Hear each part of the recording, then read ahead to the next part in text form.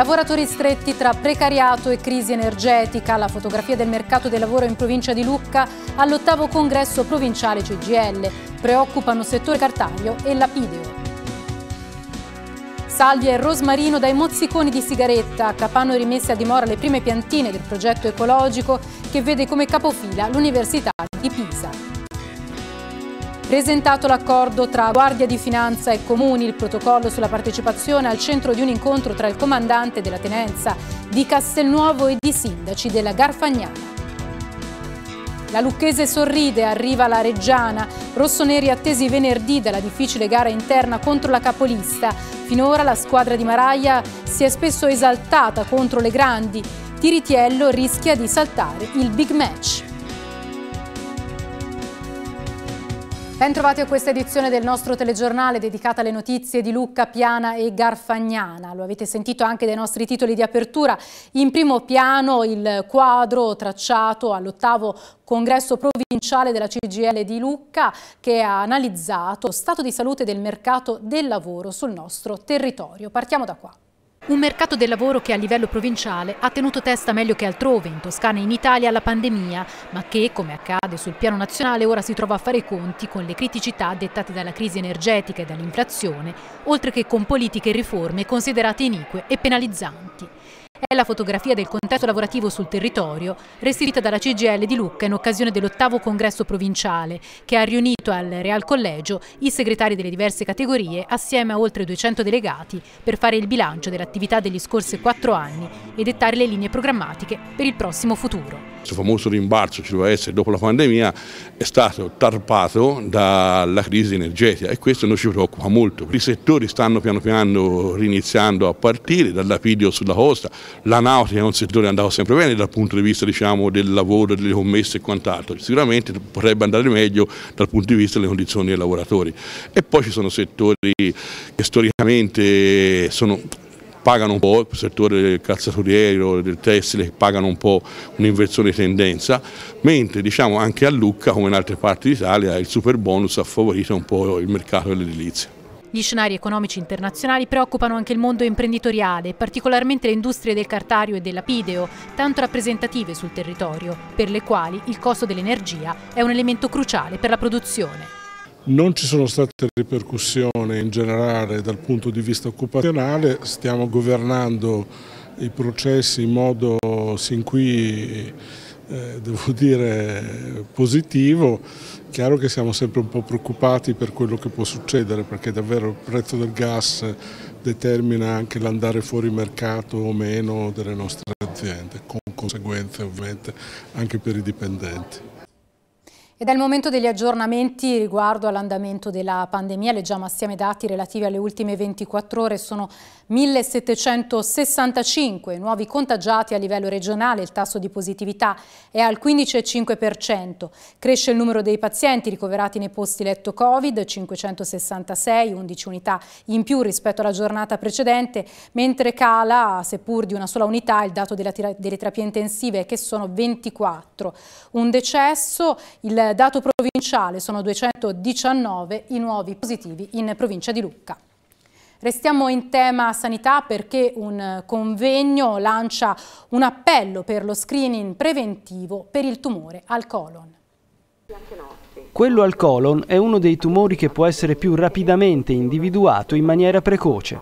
Per questo sottoporsi agli esami screening è ancora di più una efficace pratica salvavita, purtroppo sottovalutata da molti cinquantenni. L'importanza dello screening al colon retto è stata al centro del convegno svoltosi alla Cappella Guinigi, al quale hanno partecipato specialisti provenienti da tutta Italia. Del comitato organizzatore ha fatto parte anche Giovanni Finucci, direttore della gastroenterologia ed endoscopia digestiva di Lucca e Valle del Serchio. Il tumore del colon retto è una delle neoplasie nel mondo occidentale più importanti per estensione e per mortalità. E questa neoplasia però ci dà una grandissima opportunità che può essere scoperta molto presto, questo grazie allo screening del colon retto che è attivo eh, in Italia e in particolar modo nella regione toscana da più di vent'anni. Il problema di questo screening più che altro è dell'adesione, purtroppo anche nella città, nel, nel comune di Lucca è, è, è, non è molto alta. L'intento di questo convegno è quello di cercare di trovare delle forme per far sì che questa adesione aumenti perché è una cosa veramente molto importante a questo progetto. La Presidente del Congresso, Paola Damassa Carrara, ha sottolineato la forte partecipazione all'incontro. Sì, è un convegno regionale che è indetto dalle tre società scientifiche di gastroenterologia che sono la SIED, la SIGE e l'AIGO. È un convegno che si ripete ogni anno in maniera itinerante in tutta la Toscana e che per quest'anno per la prima volta abbiamo il piacere di ospitare a Lucca. Cambiamo pagina, torniamo ad occuparci del nuovo centro sportivo alle Tagliate. È stato un errore dell'amministrazione Tambellini quello di candidare ai finanziamenti del PNRR il progetto del nuovo centro alle Tagliate. Lo dicono i gruppi di maggioranza in Consiglio Comunale a Lucca con una nota stampa. Il progetto non era adeguato per quel tipo di finanziamento, si legge nella nota, e si dovevano invece trovare altre risorse. È stato candidato solo per fini elettorali, conclude la maggioranza, senza una visione e una pianificazione sull'impiantistica sportiva. Andiamo a Capannori per un bel progetto che riguarda il riuso dei mozziconi di sigaretta che danno vita a piantine di salvia e rosmarino. Sono state messe a dimora in una aiuola di Piazza Aldomoro le prime piantine, 8 di rosmarino e 7 di salvia, nate dal riuso di un primo quantitativo di mozziconi di sigaretta raccolti a Capannori grazie al progetto Focus, che prevede proprio la trasformazione delle cicche in risorsa. Accanto all'aiuola è stato posizionato un cartello con la scritta Grazie dei fiori, no mozziconi a terra, ossia lo slogan della campagna di sensibilizzazione lanciata dal comune che chiede ai fumatori di non gettare le cicche a terra ma di conferirle invece negli appositi contenitori posizionati in prossimità di vari spazi pubblici. Un esperimento riuscito grazie all'università, quello di dimostrare che i mozziconi di sigaretta non sono un rifiuto ma possono diventare un prodotto sul quale nascono le piante. I mozziconi così raccolti attraverso un procedimento termico vengono trasformati in una base biodegradabile per la coltivazione di piante ornamentali e di arbusti. Il progetto è promosso dall'Università di Pisa in collaborazione con il Comune di Capannori e il sostegno della Fondazione Cassa di Risparmio di Lucca e deve ancora essere completato per diventare interamente ecologico. Il problema più grosso eh, è risultato essere quello del refluo eh, che deriva dalla pulizia dei mozziconi di sigaretta che eh, ha, ormai riusciamo a degradare in buona parte ma che ancora eh, ha bisogno di ulteriori studi per essere degradato al 100% e, qui, e quindi per poi produrre acqua pulita e chiudere questo processo eh, in modo completamente ecologico. Il neocomandante della Guardia di Finanza di Castelnuovo incontra i sindaci della Garfagnana. A poco più di un mese dal suo insediamento, il comandante della tenenza della Guardia di Finanza di Castelnuovo, Gianluca Pierri, ha iniziato un percorso di conoscenza del territorio di competenza. In questa ottica l'incontro che si è svolto presso la sala della Giunta dell'Unione Comuni Garfagnana, alla presenza dei sindaci di questo territorio. È stata l'occasione per lo scambio degli auguri, ma anche per la presentazione dell'impianto del protocollo d'intesa tra ANCI, IFEL, Istituto per la Finanza e l'Economia Locale della Fondazione ANCI e Guardia di Finanza circa il processo di partecipazione dei comuni.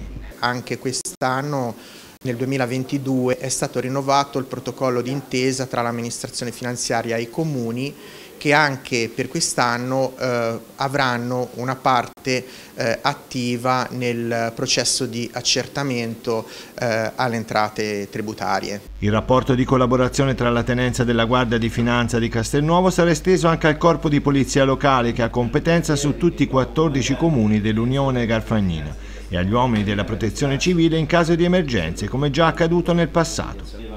L'incontro si è concluso con il tradizionale scambio di auguri tra il presidente Tagliasacchi e i tanti sindaci presenti, oltre a quelli collegati via web, ed i rappresentanti della Guardia di Finanza. E Mimmo D'Alessandro mette a segno un altro colpo e porta a Lucca Summer Festival la leggenda della chitarra Pat Mitini che salirà sul palco di Piazza Napoleone il 17 luglio. Universalmente riconosciuto come uno dei più grandi chitarristi della storia, vincitore di 20 Grammy Awards in carriera, Mitini porterà al Lucca Summer Festival un progetto chiamato Side Eye che ha lanciato quest'anno e coinvolge giovani musicisti di talento. Andiamo a Boveglio per la, la festa in piazza per la farina di Neccio.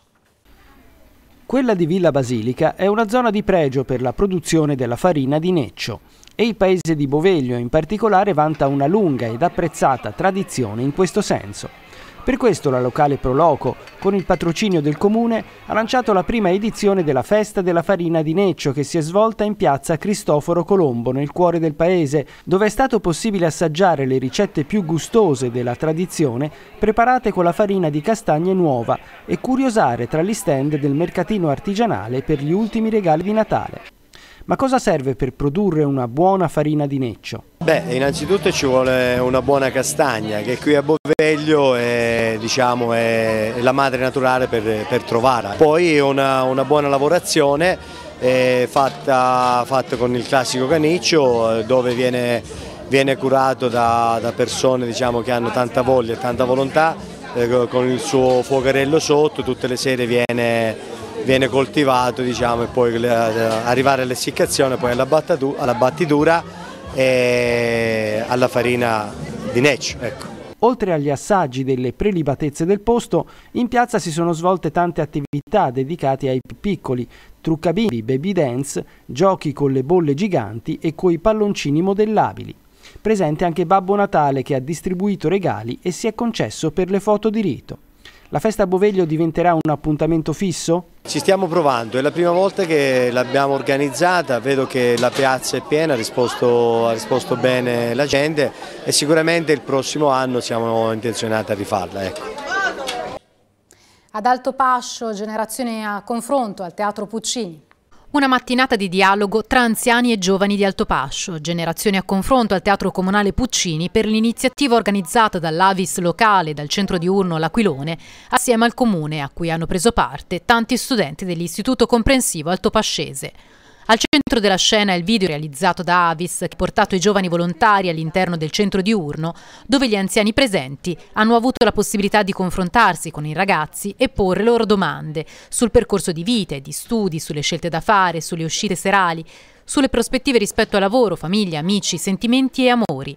Un dialogo a tutto tondo tra risate, lacrime, riflessioni e voglia di ascoltare, centrando appieno l'obiettivo dell'incontro, volto ad assicurare una relazione tra le generazioni per offrire un arricchimento emotivo e culturale attraverso le esperienze e le storie di tutti.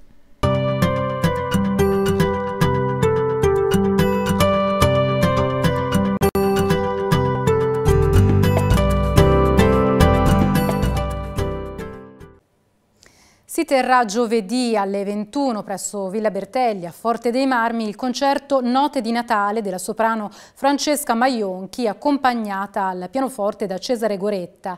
La brava artista altopascese si esibirà su arie d'opera, canzoni e brani natalizi. L'evento è organizzato dall'Associazione Culturale Lirica Oggi e sarà anche l'occasione per scambiarsi gli auguri di buone feste. In chiusura una notizia di sport con la Lucchese che attende la sfida al Porta Elisa contro la formazione Granata.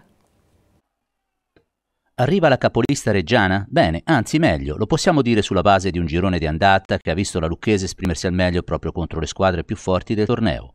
Prendete l'ultimo periodo, ovvero da un mese o poco più a questa parte, è il 13 novembre quando i rossoneri vanno ad espugnare il Franchi di Siena, partita preparata in modo perfetto da Maraia che imbriglia sul piano tattico il dirimpettaio Pagliuca e risolta in avvio di ripresa da un perentorio contropiede avviato da Franco, rifinito da Visconti con un no-look a lanciare in contropiede Bruzzaniti che c'era l'anni per il punto che vale un successo di enorme valore a scacciare una crisi strisciante e pericolosa.